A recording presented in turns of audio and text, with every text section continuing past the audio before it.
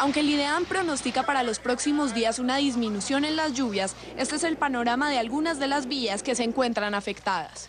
En Boyacá, la vía Belén Paz del Río Socha y la vía Paz del Río Sátiva Sur están totalmente bloqueadas por deslizamientos.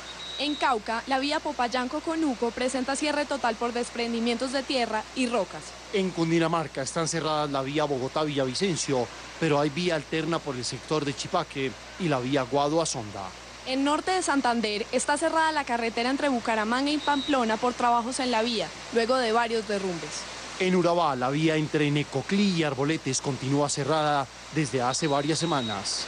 En la región del Magdalena Medio, en cierre total está la vía Puerto Araujo, La Lizama. Para quienes quieran viajar entre Bogotá y la costa atlántica, pueden tomar la vía alterna por Puerto Boyacá, Medellín, Planeta Rica, Montería, Cincelejo, Cartagena, Barranquilla y Santa Marta. La vía por Bucaramanga está totalmente bloqueada. Recuerde que usted se puede comunicar al número 767 para conocer de manera permanente el estado de las vías.